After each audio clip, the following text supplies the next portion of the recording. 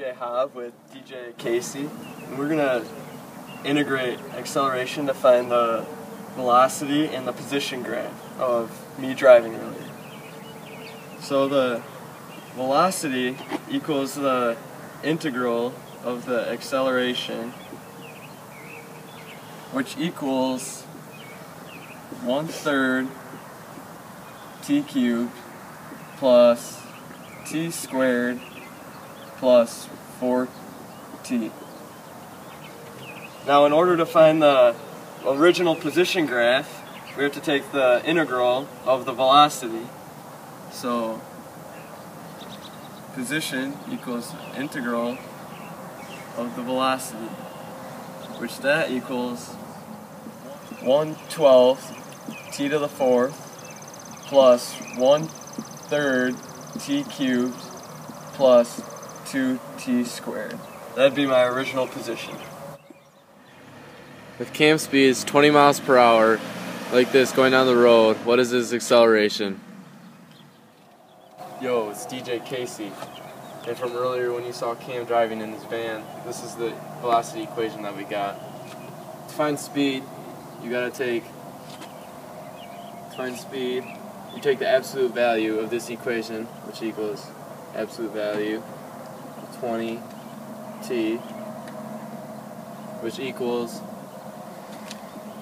just the 20t that we got for our, for our velocity.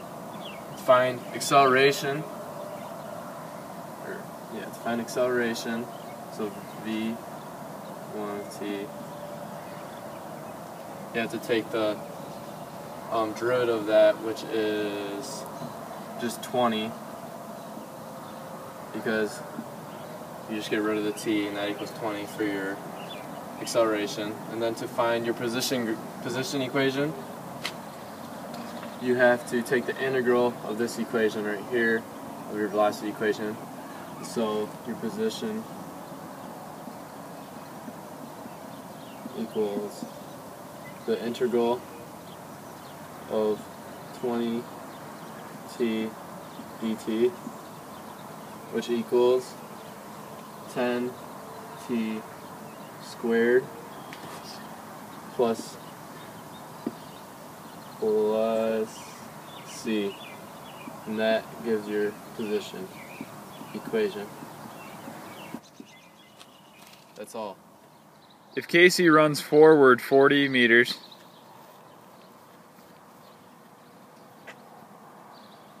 then runs back 20 meters,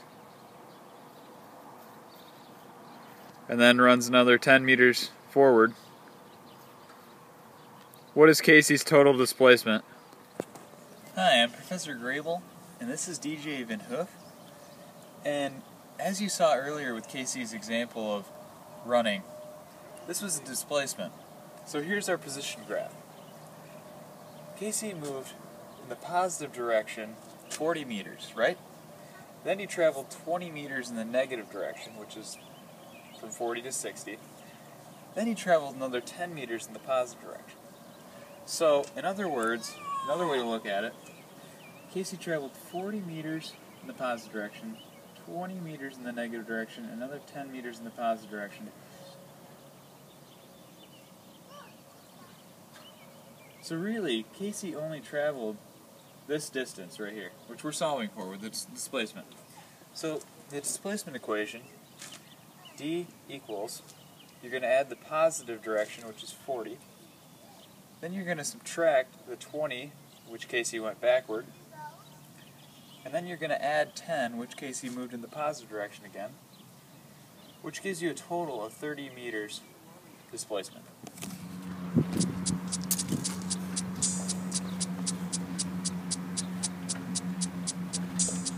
Yo, DJ Jules, let's kick it. Stop. Drive and listen. Calc is back with a brand new invention. Position grabs a hold of me tightly. Then I drive to get velocity nightly. Will it ever stop? Yo, Yo I don't, know. Give me the board, and I'll show.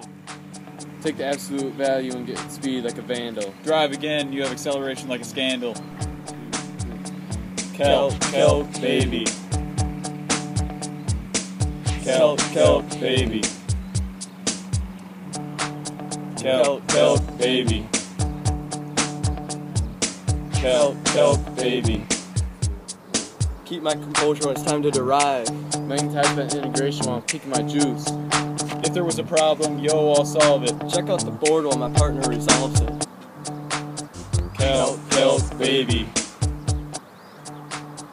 Calc, calc, baby. Calc, calc, baby. Calc, calc, baby. And that's our extravagant video on position, speed, velocity, and acceleration. We hope you enjoyed our thorough video on the fundamental theorems of calculus. For next time, I'm Professor Grabill. I'm DJ Casey. I'm DJ Hav. We love calculus. Time to ball.